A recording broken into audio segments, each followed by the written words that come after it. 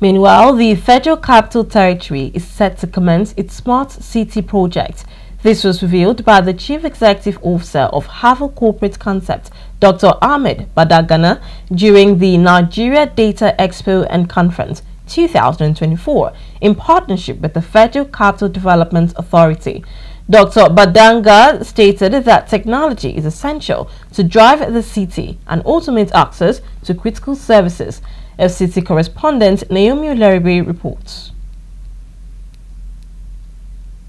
Since assuming office, the Minister of the Federal Capital Territory, Barrister Nyesom Wike, has consistently identified infrastructural development as a key objective of his administration. In line with this, Havel Corporate Concepts is partnering with the Federal Capital Development Authority to create a smart city project in the FCT aimed at enhancing the standard of living through technology. Um, our vision is to transit Abuja to a smart city, uh, a city that everybody will uh, be able to do things um, using technology to drive it. Because as we speak now, most of the um, most of the uh, services and transactions that takes place in Abuja from the studies and data we have collected, um, I can see clearly here that uh, few, just few um, are done digitally. So many are still manual. And so for that reason, we feel it's important for us to digitalize Abuja on the importance of data for sustainable development in the FCT and nationwide, Chief Executive Officer of the Nigeria Data Protection Commission, Dr. Vincent Olatunji, emphasized that with rapid growth in Abuja, data is essential for managing migration and population control.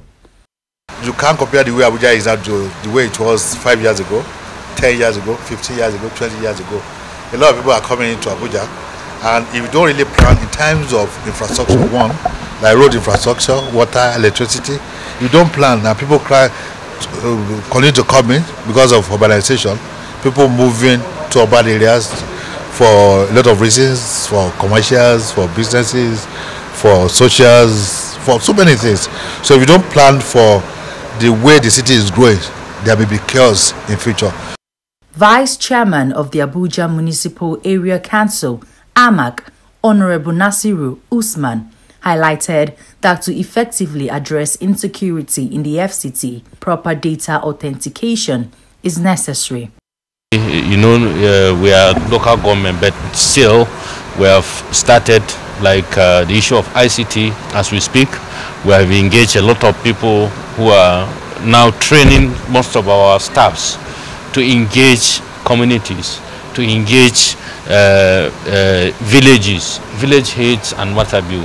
And I believe in a very near future, things will, will start flowing by the special grace of God essence of the conference is to raise awareness about the use of data to transform Abuja into a smart city, including the six area councils.